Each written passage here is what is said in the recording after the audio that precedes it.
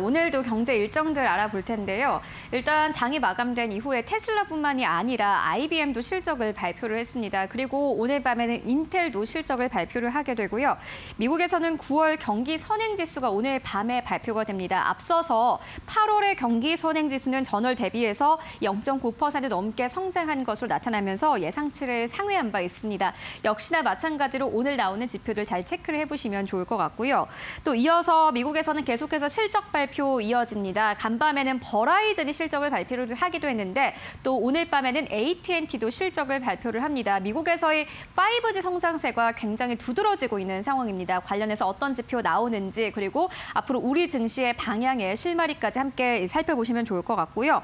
한국에서는 GI텍도 신규 상장을 하게 됩니다. 2차 전지 코팅 장비 제조사입니다. 관련한 자세한 내용들은 조금 이따가 다시 살펴보도록 하겠고요.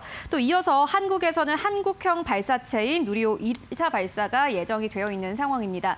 어제 증시에서는 관련 주들의 움직이 좀 부진했습니다. 오늘 시장에서는 또 어떻게 움직이는지 체크를 해보시면 좋을 것 같고요.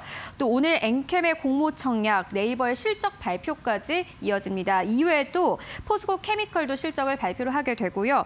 또 현대 이 두산 인프라코어도 실적을 발표를 하게 됩니다. 관련해서 어떤 실적 내놓을지 그리고 시장에는 어떻게 주가가 움직이게 될지 잘 체크해 보시면 좋을 것 같습니다. 네, 지금까지 경제 일정 알아봤습니다.